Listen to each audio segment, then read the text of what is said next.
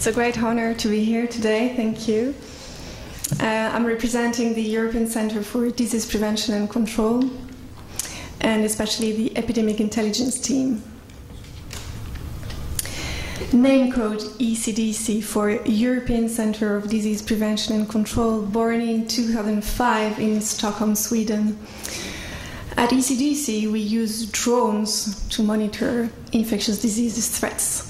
That's how Dan Brown describes ECDC surveillance and response team in, uh, in Inferno. But it's not factual, of course, and I'm gonna give you now the true story.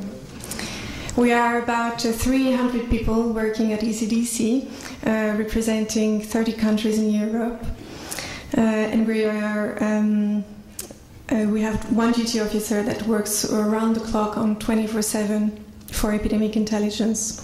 We screen about 500 uh, pieces of news every day, and we produce 50 EI reports, 30 risk assessments per year, and we're six people working full time for epidemic intelligence. Uh, at, CDC, we believe that epidemic intelligence is all about uh, networks, technology, and also timeliness. And that's what I'm going to, going to address in this presentation. First of all, uh, networks. What is information? What is technology if it's not uh, supported by essential networks? Uh, how can we ensure European health security without uh, human networks? Uh, we are, of course, uh, not alone on this. Uh, we have built networks with national health authorities in the countries, with WHO inside and also outside Europe. And we created platforms and systems to enable people to communicate.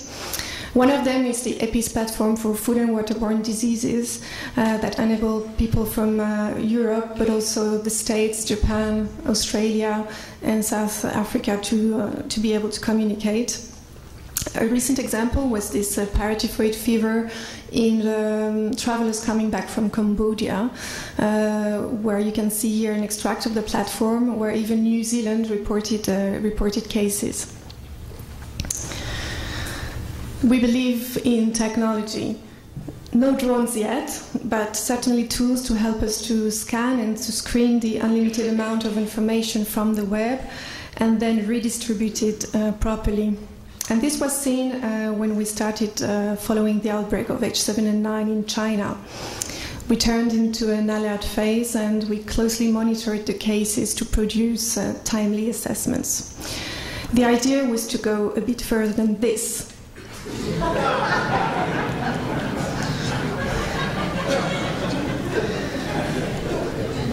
so you all wonder now what type of tools we use to do epidemic intelligence. Uh, we of course use uh, your monitoring systems uh, like um, GPHIN, Pulse, ProMed, HealthMap, and uh, MedISys. MedISys is a tool that was developed by the Joint Research Center of the European Commission, and we have uh, a close collaboration with them. We have created special alerts for the H7N9 outbreak. And the tool covers um, more than 80 languages, including Chinese and Arabic. During the H7N9 outbreak, we uh, have started to monitor cases even through Twitter. Um, but we still we tend to be cautious with, uh, with, the, with the information that comes from uh, from blogs or from social media, uh, although we cannot deny that they are the most timely, and we believe in timeliness.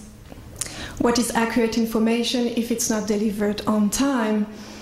In April 2012, we have been one of the first agencies to detect an unknown virus, um, which will then be called the MERS coronavirus. Since then, we have uh, created a huge database compiling record of uh, all, all cases.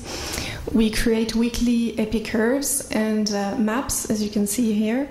Uh, we represent uh, cases from the Middle East and from Europe, and we uh, manage to link them through their travel history. And the story is not over. Um, you can find more information on our website for more information.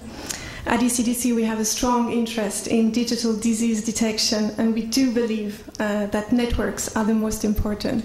So let's network. Thank you.